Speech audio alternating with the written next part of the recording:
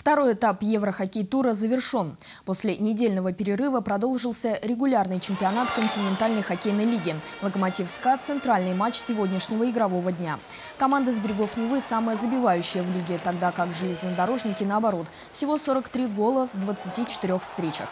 У ярославцев практически опустел лазарет клуба, в котором находится только нападающий Янис Спрукц и Егор Аверин.